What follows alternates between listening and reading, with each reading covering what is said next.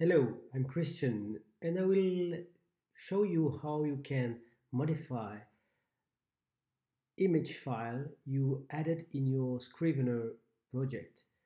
So I discovered Scrivener not so long time ago and I needed to import the image in the project and also having the possibility to change it.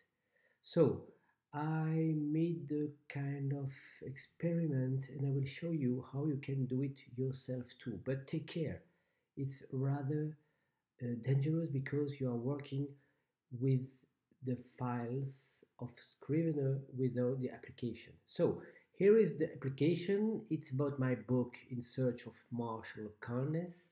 I'm writing a new version for this document and I imported the old version too and at the same time I imported also the images in a folder and all the images are here.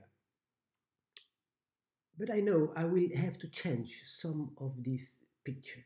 So let's take an example. Let's take this example of these two arrows and we'll try to make modification with our image editor in this case, it will be fireworks.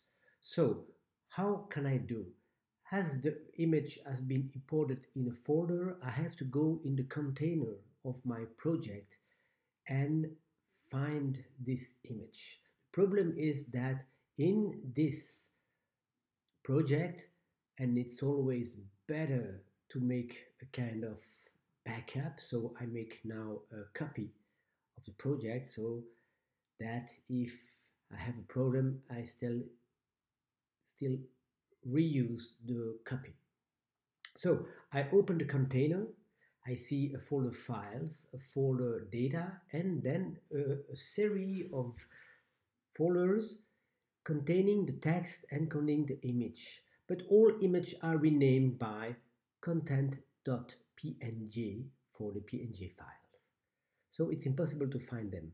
But what can I do is just make a search in all these folders for any files finishing by .png and with Mac Finder I show icons so I can recognize the image by its content not by its name. So here is my file.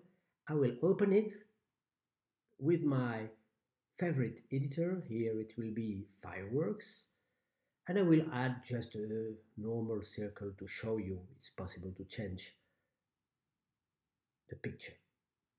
I make a save, of course. Then I go back to my project, Scrivener, and I see it has been changed without any difficulty. So it's very easy to update image while containing the image in the project. And that's very important because for me, Scrivener has a big quality. It has a container of all the file I need to write my new book. So I think it's about it. Uh, have a try, but be careful.